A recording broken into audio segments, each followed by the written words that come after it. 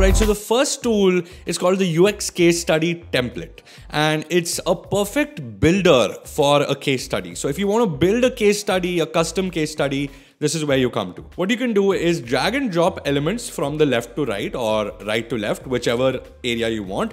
And whatever you want in your case study, you just push you just put in this one list. If you want to, of course, remove something, if you say haven't done sketches, you just remove the sketches. So what it will basically do is make this case study on the right based on what you have on the left here. So for example, user interviews. I did not conduct user interviews, so I'm going to remove user interviews. And as you can see in a second, it removes the portion of user interviews. And apart from that, now you only have all the text and content that you want on the page. And each section has a description of what should come. So even if you don't know what you should put under all these, you this kind of teaches you that and guides you through of creating a portfolio. Once you've done with this case study, you can of course click on download and what it does is it allows you to download the template and it downloads it as a PDF. So you can use this PDF, edit this PDF or use it for reference as well. And this cool website called Design Stories has a lot more to offer. There is a design process visualization tool as well. So it kind of visualize all the steps in the design process and of course you can create a nice little design process chart from here and even include it in your portfolio or case studies. Now this one resource is something that a lot of designers look up to. It's called Built for Mars.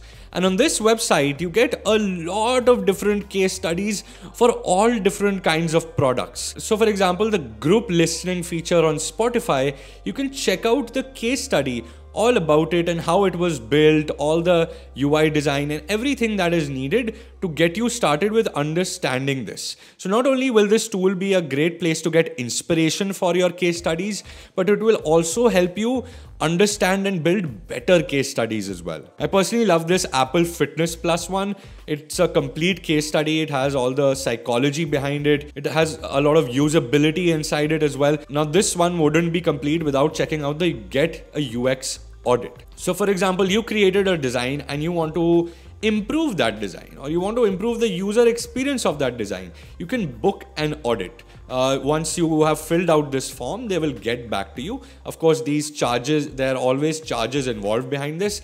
But if you're looking to improve your designs or you want to improve your case study, this could help you out a little bit. Definitely a site to kind of check out and see how you can build better case studies by taking inspiration. Now, this is a really cool template or a case study builder. Now, it has these four crucial points which you should keep in mind. It has eight categories for the most successful case studies across different industries. It has a, gui guiding questions. Now it will give you these little forms if uh, which allows you to create content for different sections, really document out your portfolio. So if you're looking to create better documentation, this will help you out a lot. It also includes scripts. Yes. So it also helps you communicate and present your case studies better. If you are in a job interview, this will help you out a lot by helping you understand what it takes and what you should say and when you should say it. And of course, all these references will be from actual designers who got placed in good companies. And this will help you understand what recruiters are also looking for which in a case study is one of the most important factors. Now uxfolio is a hybrid between a website builder and a case study builder. So this tool allows you to create a portfolio fast and easy. So it's a great tool for portfolio websites as well as helps you build a case study. They have a lot of templates that they have available for you guys. And everything that you need is already built in. Things like device mockups, copywriting they have ai tools or suggestion tools where they suggest what you should be writing instead or how you can improve the writing or the copywriting in your case study. They also have embed features. So whichever tool you use figma XD marvel you can quickly just embed those prototypes right here. And if your work is sensitive legally sensitive you can't showcase it publicly. You can uh, also have a password protected portfolio or case study in that case. Another cool thing I forgot to tell you guys, it has different sections, pre-built sections. So there's section for user interviews, surveys, personas, user testing, UI design. So different sections have a different design, different structure, and that is how you can build this website. Now format.com has this really cool uh, case study builder or portfolio builder. And inside this, what I really like is that they've explained all the steps you need to take or all the things you need to take into consideration when building your case study, things you should remember, things you should definitely include. And it really kind of tailors it alongside its tool, which is, I think, really cool. Again, a really cool website builder tool alongside helps you build better case studies but because it has a lot of templates for both designers, photographers, fashion designers, whatever it is, they have stuff for you and it's ready to build.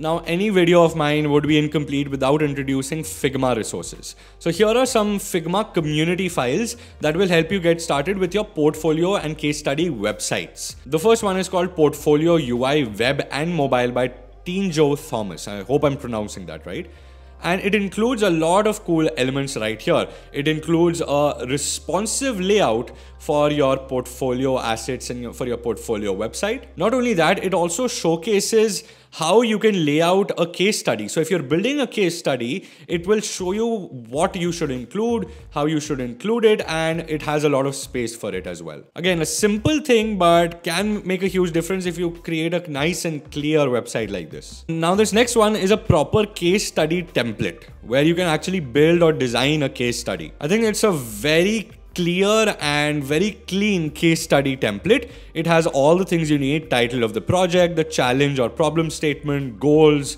research analysis, user personas, flows, concepts, visual design and prototype, test, validation, usability, challenge, and conclusion. Now, a lot of people ask questions about how can we improve our case studies, how to create a better case study, or what to include in a case study.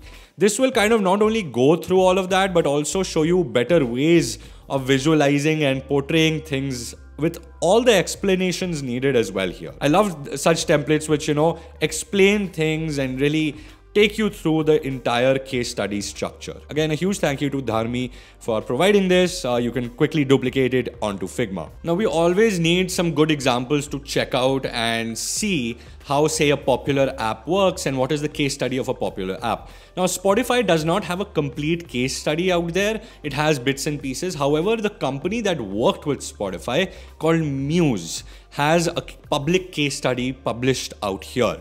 They, of course, have created an amazing video where they're explaining each and every segment of the case study, each and every step and process that they took to make Spotify what it is. Once you go through, you see all the amazing things that they've done with Spotify, the changes they made, the process or research they did to actually make those changes come true and of course, all of that is in video format as well. I hope you like that short video. I post such content every Monday and Thursday. If you don't want to miss out, make sure you subscribe to the channel and also click on the bell icon. And if you like the video, hit the like button. It really helps me out. I'll see you next time, same place, same time.